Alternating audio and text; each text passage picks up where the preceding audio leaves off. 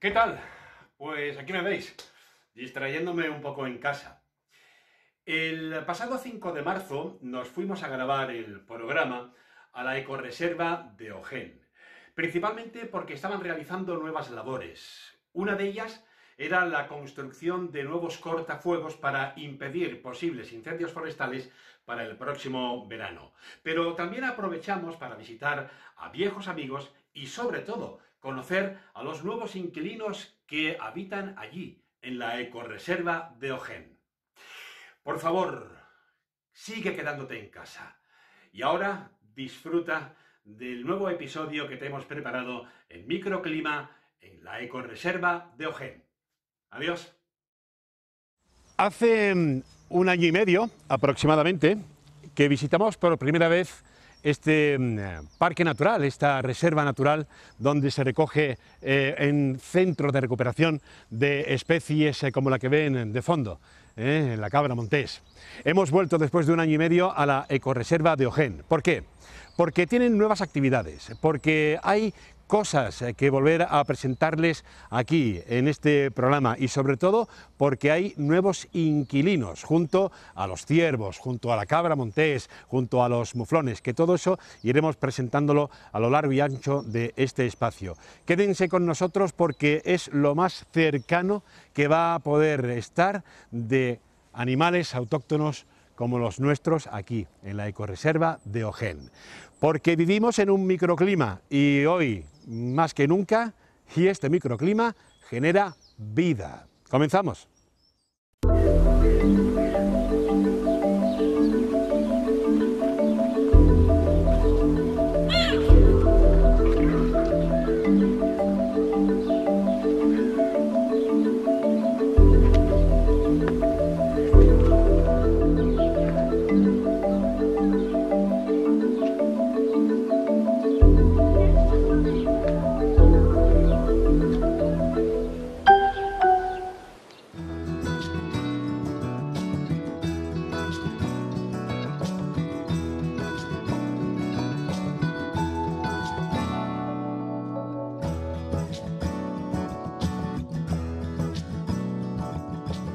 Visitar Ojén siempre reconforta.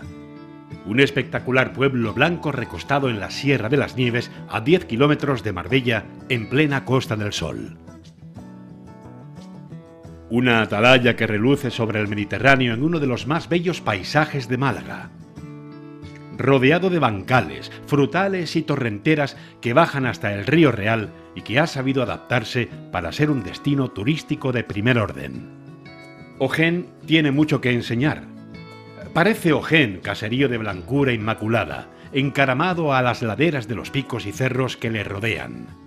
Una pincelada blanca, una mota argentina entre el verdor. Solo blanco sobre verde. Esto es lo que vemos tras la primera curva en la que dejamos atrás la autovía desde Marbella. La carretera, sinuosa, nos propone un juego de magias imposibles cuando el caserío aparece y desaparece en cada vuelta. Estas virtudes revalorizan la belleza de sus paisajes, su fauna, su flora y su singularidad ecológica. Y es ahí donde entra en escena la ecoreserva de Ojén un total de 82 hectáreas que abarcan el monte en cuya falda se sitúa el pueblo de Ojén. Esta riqueza de ecosistemas concentrada en tan poco espacio hace posible encontrar una gran diversidad de especies, luces, olores y sensaciones. Después de un tiempo hemos vuelto a la que consideramos como nuestra segunda casa, principalmente por la cordialidad con la que siempre nos recibe el gerente de la ecoreserva, Antonio Calvo. Calvo transmite amor a la naturaleza desde el primer momento. Refleja perfectamente la visión del refugio natural. Conoce al dedillo la finca, así como las especies botánicas y la fauna que reside en ella. Antonio, muchísimas gracias por acogernos de nuevo en tu casa, en la ecoreserva de Ojén. Pues muchísimas gracias a vosotros porque después del reportaje que nos hiciste eh, ha sido un, un reactivo que ha revolucionado la reserva. Sí, ¿verdad? Ha habido muy buena participación de voluntarios que nos han ayudado a limpiar caminos, ha habido una buena participación de visitas y aquí tienen la respuesta agradecida de, la fauna de la reserva ecológica. Absolutamente. Encantada con la gente tan, tan sensible que vienen aquí, que no los corretean, que no los tirotean y todo lo contrario, que con respeto los lo observa, con respeto lo cuidamos. Además hay una cosa importante que quiero decirles, ¿no? Esta es la familiaridad eh, con la que la naturaleza nos regala. Es muy poco usual que un ser humano tenga a su espalda a un macho alfa de buflón eh, que esté aquí con nosotros con toda la tranquilidad del mundo, eh, que podamos estar hablando sin ningún tipo de problema, ir a estar aquí de lo más tranquilo junto con prácticamente toda su camada, ¿no? Exactamente. Con Carmencita, ¿no? desde que declaramos este espacio reserva ecológica, los principales agradecidos, como se ve aquí claramente, son los animales. Los animales no son tontos, los animales son seres superiores que comprenden que cada persona que viene aquí lo admira con respeto y que le aporta una calidad de vida que no podrían tener en, ningún lugar del planeta. Entonces, este, estas condiciones son ideales. Los objetivos de la reserva, conservación de naturaleza, y educación ambiental. Esto es perfecto para visitas escolares, para visitas de familias con niños. Incluso es un recurso turístico de primer orden que aún no se ha enterado la Costa del Sol, aún no se ha enterado Sierra de las Nieves, la comarca que va a ser declarada Parque Nacional. Y vienen gente de muchísimos países reconociendo estos valores antes que nosotros mismos. Eh, como siempre ocurre, no valoramos nuestros propios recursos y nadie es poeta en su tierra. Mm. Refrescanos la memoria, Antonio, porque hace ya algunos años vosotros decidís eh, crear este parque cinegético, porque no deja de ser un parque cinegético, es un santuario natural que sirve, entre otras cosas, también eh, como espacio de recuperación eh, de algunas de nuestras especies de los bosques, de nuestra Sierra de las Nieves, de, Sierra Blanca, en el caso, por ejemplo, de los ciervos, de los buflones, de la cabra montés, ¿no? ¿Eh? Eh, desde hace ya algunos años comenzáis y a partir de ahí son muchos los voluntarios que se han ido adheriendo a este proyecto tan fantástico y que hoy por hoy seguís teniendo un sinfín de actividades y sobre todo muchísimos proyectos que hacer para la recuperación y sobre todo para el cuidado y el mantenimiento de estas especies. Exactamente. Esta finca originalmente, actualmente, es una, un monte público que pertenece a la Consejería de Medio Ambiente, pertenece a la Junta de Andalucía. Esta es la misma finca que Sierra Blanca, que Juanar, que La Concha. Hace 20 años la construcción de la carretera fraccionó la sierra y dejó este cerro aislado. La Junta decide rodearlo con un vallado para que los animales no atraviesen las carreteras que lo rodean y eh, funcionó como parque cinegético, como reserva de caza. Eh, formaba parte de la reserva andaluza de caza, la serranía de Ronda. Bien, pues desde hace más de 15 años hemos visto los valores naturales, ecológicos, paisajísticos de este monte y le hemos propuesto a la consejería que lo abriese al público. Eran respuestas de retraso hasta que recordamos en el 2012 hubo un incendio terrible entre Alaurín y Ojén, pues eso fue también una chispa para darle ya un ultimátum y le propusimos a la Junta que lo abriese al público antes de que otro incendio acabase con este bosque tan bonito y con estos animales tan nobles. La Junta nos respondió que no había recursos para nuevas aperturas y que si queríamos verlo abierto, que a ver si éramos capaces de abrirlo por nosotros mismos.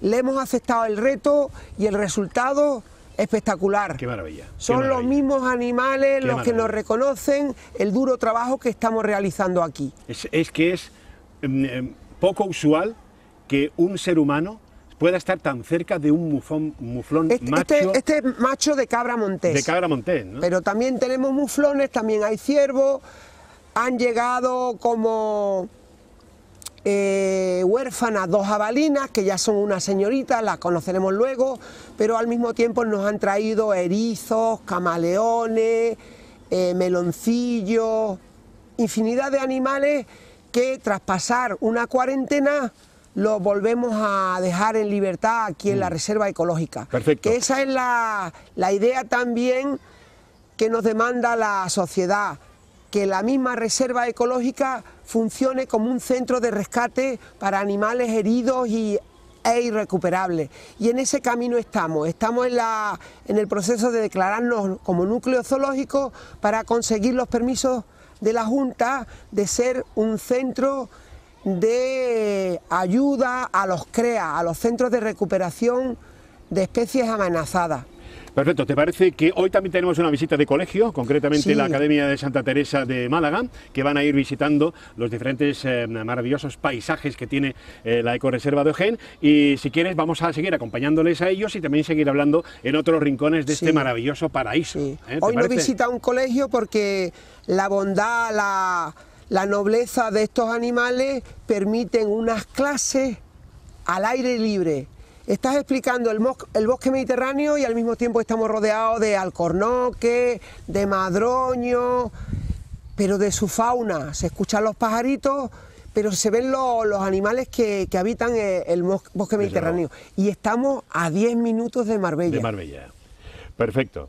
¿Vamos allá entonces? Venga, vamos allá.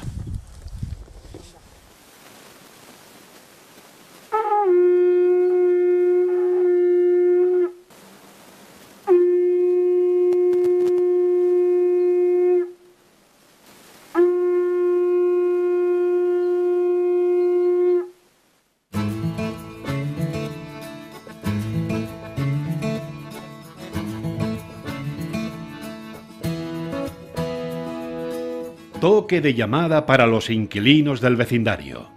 Este espacio de conservación de la naturaleza ofrece la posibilidad de ver de cerca animales como muflones, ciervos o cabras montesas, además de aves que sobrevuelan y los hermosos paisajes que ofrecen la mezcla de bosques y claros. Entre la visión y misiones de la ecoreserva, las prioridades son la conservación de la naturaleza y custodia de la fauna autóctona, procurar su bienestar por nosotros mismos o con ayuda de los demás, proporcionar una atractiva experiencia de educación ambiental, inspirar, informar y educar a las personas acerca de la importancia del respeto de la fauna, la conservación de la tierra y el cuidado del medio ambiente. Contribuir al desarrollo sostenible que genere recursos y cuide el medio ambiente. Hoy es un día especial porque la reserva recibe la visita de un colegio, concretamente alumnos de la Academia Santa Teresa de Málaga. Actualmente se está trabajando en el desarrollo de un programa de educación ambiental con apoyo de instalaciones, paneles interpretativos, charcas de anfibios, aula en la naturaleza bosque-escuela, observatorios de animales, para poder así conseguir los objetivos propuestos. Por tanto, no solo se contribuye a proteger este espacio natural, sino también a acercar de nuevo al ser humano y en concreto a los más pequeños a la naturaleza, de una forma lúdica y entretenida, a la vez que ellos aprenden. Traer aquí los colegios a la Reserva Ecológica de Ojén, pues trae muchísimas ventajas. Desde pequeñito van van aprendiendo los valores de la naturaleza, se conciencian de cómo tienen que o sea, conocer también las plantas, la flora, eh, la fauna y a través del conocimiento es como, como, se conserva mejor. Entonces desde pequeñito vienen aquí, se les explican los animales que hay, las plantas y además ellos les surgen muchísimas preguntas, eh, le contestamos y van cogiendo valores que, desde pequeñito es donde hay que, que aportárselos. Hace un año y medio tuvimos la oportunidad de venir por primera vez a la ecoreserva de Ojén y nos eh, atendió y nos visitó un eh, precioso ciervo llamado Paquito. Paquito que lo tuvimos eh, amamantándolo con biberón y que fue prácticamente nuestra mascota y que nos enseñó todo lo que es la ecoreserva. Hoy este es Paquito. Aquí lo tenemos ya fortaleciéndose para la época de la berrea. Sigue siendo tan noble y sigue siendo tan espectacular como de pequeño. Paquito, ¿vamos a ir visitando la ecoreserva? Venga, vámonos, vámonos.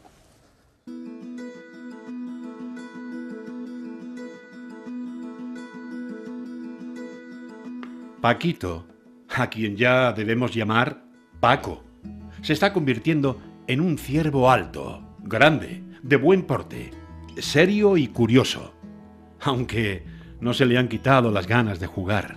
Todavía se deja alimentar de la mano e incluso acariciar. Cuando la agrupación ecologista llegó a esta finca, su situación era absolutamente diferente. Los animales estaban en los huesos y tenían muchas garrapatas. Su cuidado y la instalación de numerosas cajas para el anidamiento de aves insectívoras ha cambiado su historia, como las de otros ejemplares que llegan aquí tras ser víctimas de accidente o alguna intoxicación. El objetivo es que siempre llegue fauna local para mantener el ecosistema original.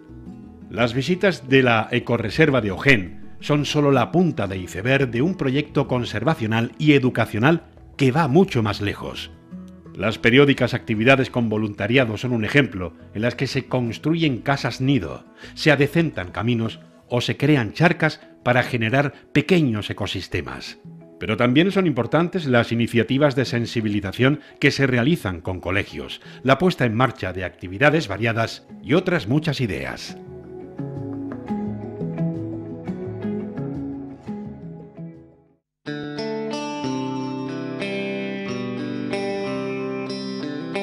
Una de las leyes del bosque mediterráneo es que, para evitar los incendios forestales del verano, hay que empezar a apagarlos en invierno. Los incendios forestales ya no son como antes.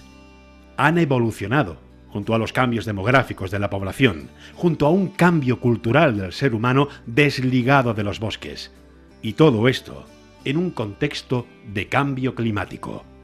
Desde la ecoreserva de Ojén se está trabajando desde hace tiempo sobre la prevención de incendios se están llevando a cabo actuaciones que van desde la apertura o mantenimiento de áreas cortafuegos hasta la creación de franjas auxiliares al lado de los caminos que permitan a los bomberos forestales trabajar con cierta seguridad.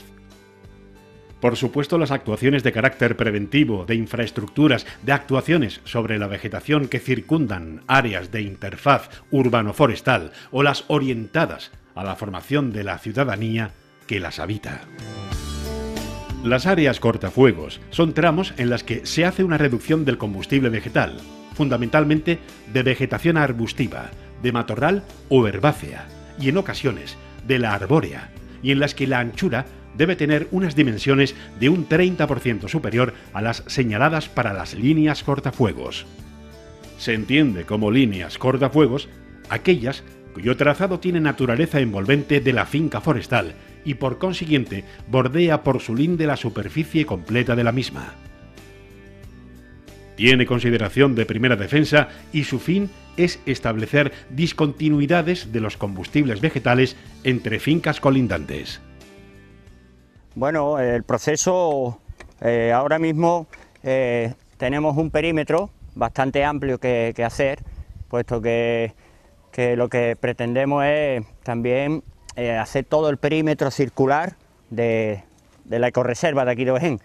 Entonces ahora tenemos mismo, estamos por los exteriores, bien desde las cunetas hacia arriba, y estamos desbrozando mayormente todo monte bajo y estamos salvando lo que no se puede desbrozar, evidentemente las especies protegidas, tanto como es el lentisco, eh, palmito, etcétera, ¿no? Entonces estamos realzando también lo que es la arboleda, pues para simple hecho de, que tiren una colilla y, entonces no vaya ese, esa llama hacia arriba, siempre va la llama hacia arriba, entonces estamos haciendo sobre unos 5 a 9 metros de distancia desde, el margen de la carretera hacia arriba y prácticamente estamos concienciando para que la gente se, se conciencie y aparte protegiendo lo que es nuestra zona.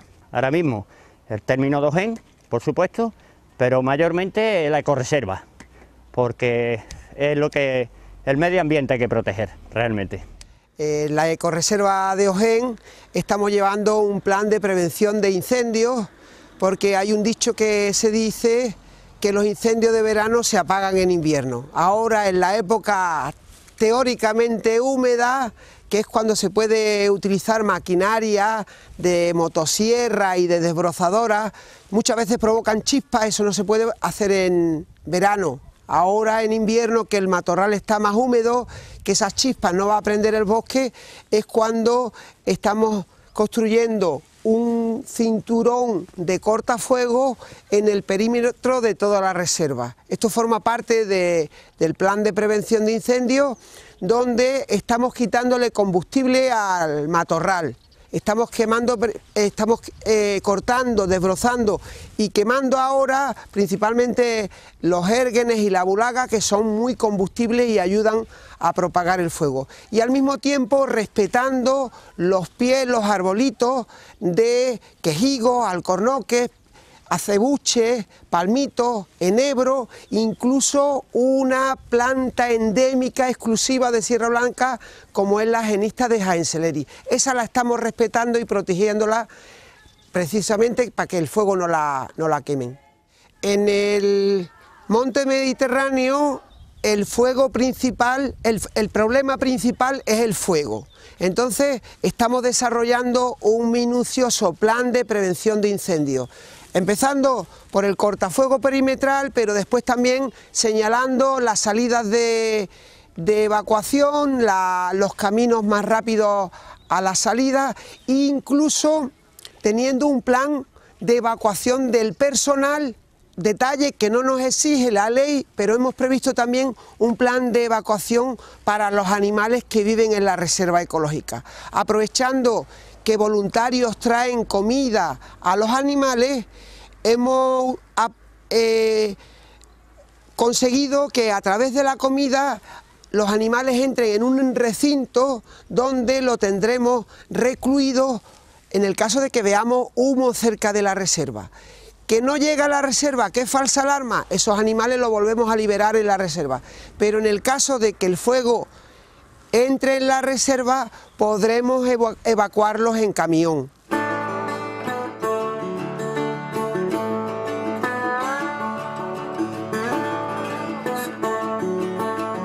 Todas las especies que encontramos en la ecoreserva conviven en absoluta armonía, aunque eso sí, cada uno respetando el terreno del otro. Además, en nuestro retorno nos hemos encontrado con nuevos inquilinos en el vecindario. Bueno, en este caso, inquilinas. Una pareja de jabalinas que han pasado a engrosar el amplio catálogo de fauna de este pequeño gran bosque mediterráneo. No es fácil distinguir el jabalí de la jabalina en una observación de campo. Generalmente, la hembra tiene la jeta más alargada, aunque este rasgo no es definitivo. El macho Posee dos colmillos que crecen continuamente de aspecto curvado hacia atrás y que sobresalen de los labios. Se llaman defensas o navajas. Las defensas de la hembra no son visibles por fuera de los labios, ya que tienen un tamaño menor. El jabalí es capaz de adaptarse a una gran variedad de hábitats y condiciones. La disposición de alimento puede ser el factor más determinante para que el jabalí se establezca o no en un determinado paraje o territorio, ya que por lo demás podemos encontrarlos en los bosques más cerrados, en dehesas y encinares o en tierras llanas de cultivo desprovistas de vegetación.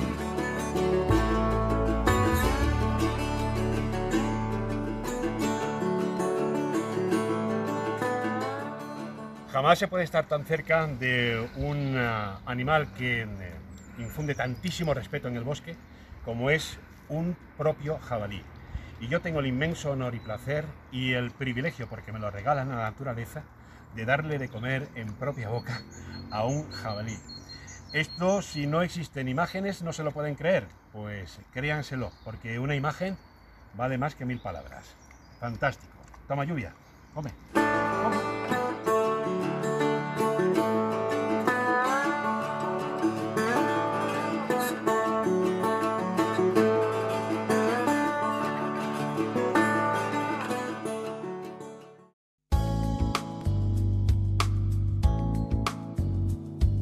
Durante esta época del año tiene lugar el desarrollo larvario de un insecto conocido como el principal enemigo de los pinos españoles. La procesionaria del pino es una plaga que se alimenta principalmente de este árbol provocando así su defoliación. No obstante, no solo afecta a estos árboles, sino que también conlleva riesgos para la salud humana y de los animales de compañía. Dado que nos encontramos en la época de desarrollo de esta especie, es el momento clave para tratar y prevenir su aparición. A pesar del tamaño de la larva, la procesionaria es la causante de una plaga silenciosa que puede llegar a afectar a gran parte de los bosques españoles, ya que casi la mitad de ellos están constituidos por coníferos.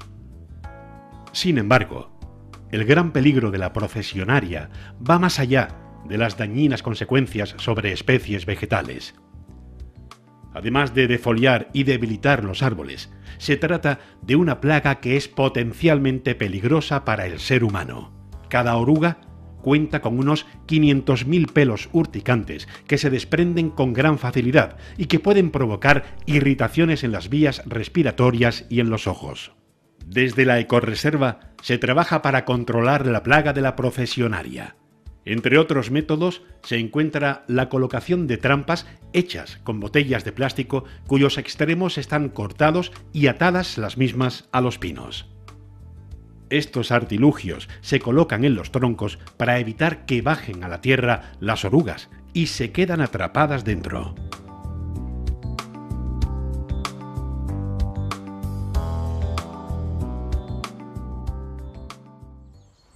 Como consecuencia del cambio climático, en la ecoreserva de Ojén hemos tenido que colocar estos cinturones como trampa para frenar la plaga de la, oruga procesionaria. Esto es debido a que la oruga, con el calor que hace en invierno, baja por el pino y encuentra el cinturón, de manera que no puede continuar hasta llegar al suelo. La oruga comienza a circular alrededor del cinturón y no encuentra otro lugar que esta botella o alguna bolsa de plástico en otros lugares en el que llega y detenemos que alcance el suelo para que los años posteriores esta oruga no se convierta en polilla y ponga huevos que al año siguiente serán nuevas orugas.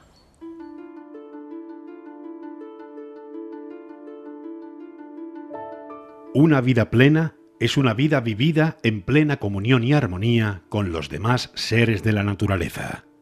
Descubrir nuestro verdadero ser es sabernos parte viva del universo sabernos una porción del gran ecosistema de animales y plantas, piedras, astros en el cielo y tierra en el suelo. El avance de la civilización ha implicado una ruptura de nuestros lazos con la naturaleza, con la consecuente alineación de nuestro verdadero ser humanos, hechos del humus de la tierra. En la actualidad, una de las grandes necesidades de la familia humana es volver a conectarnos con la naturaleza. Hay dos actitudes posibles hacia todas las cosas. Usarlas o disfrutarlas. Desde pequeños, especialmente en la escuela, hemos sido entrenados para usar cosas, pero no para disfrutarlas. Respecto de la naturaleza, lamentablemente, ha predominado la primera actitud. ¿Cómo puedo usar la naturaleza? Y así, por ejemplo, hemos construido diques sin importarnos el daño que le causamos al río, a los animales que viven en él o al medio ambiente. Por un lado, la ilusión de ser algo separado y distinto del resto del universo ha puesto en serio peligro la salud y hasta la supervivencia del planeta, y ha hecho estragos en innumerables especies animales y vegetales. Pero hay además otra consecuencia menos vista e igual de dañina. Esta división ha perturbado nuestra identidad, aislándonos de nuestra más antigua fuente de seguridad y de poder. Pensarnos aislados de la gran familia de seres sintientes nos ha sumido en una soledad existencial de la que pocos se percatan, al menos hasta que dan los primeros pasos para repararla. Afortunadamente, Hoy hay mucha gente que va a la naturaleza solo para disfrutarla. En nuestros días, muchos visitan los bosques sin pensar cuánta leña pueden juntar, sino solo para gozar del bosque.